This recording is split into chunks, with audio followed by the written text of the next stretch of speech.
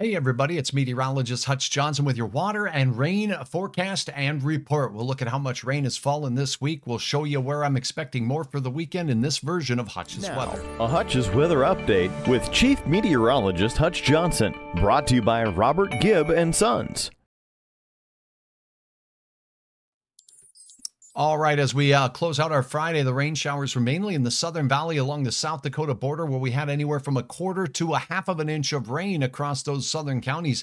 That did extend into southern parts of Minnesota as well, from Traverse County, where we got over a quarter of an inch, and even in northern Cass County with that thunderstorm that was north of the FM area, 93 one hundredths there a goose egg in Fargo at zero and all the dry areas. Now, the last two days, though, as we went through Thursday and Friday, a few rounds of storms did produce over an inch in some of our areas along and near the I 94 corridor.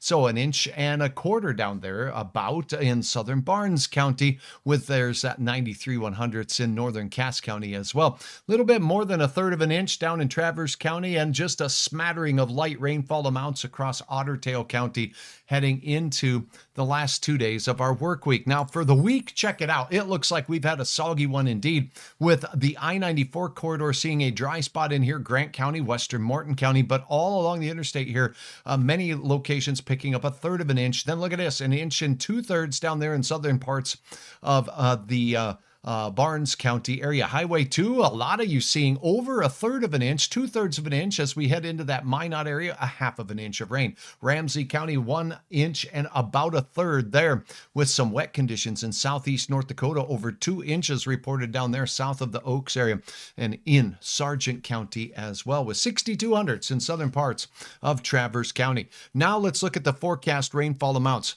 for your night tonight, Friday night, and into Saturday. Saturday will bring a morning round of storms and then an afternoon and evening round of storms. So by Sunday morning, we'll have some moisture that will work its way across mainly the south. So here is a look at what I'm thinking is what we're going to expect. Rainfall that will be making its way on the I 94 corridor and south along I 94, lower amounts there, about a tenth, with many of us getting zilch. But as you go down toward the South Dakota border, more prominent rainfall, a half inch to an inch for some of you. Again, there's going to be some spots that get missed. These will trail to the south and east and into southern Minnesota along the Minnesota River Valley there.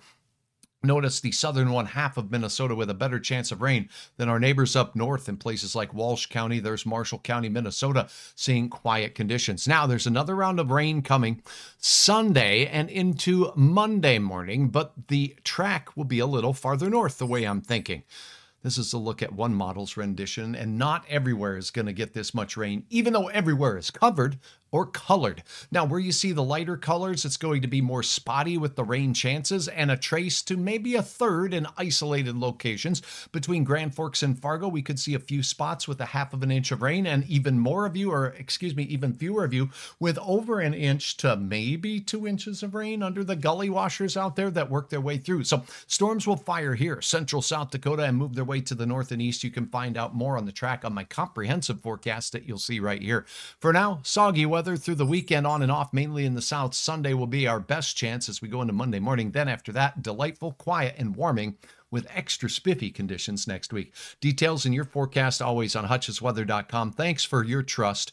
Thanks for your patience with me as I'll be back on a more routine schedule and working toward that as we go into next week. For now, have a wonderful weekend. I'll keep you apprised. A severe weather risk looks to be well to the south this weekend, but we'll keep you on top of it. Follow me on Facebook, subscribe on YouTube, and have a spiffy day.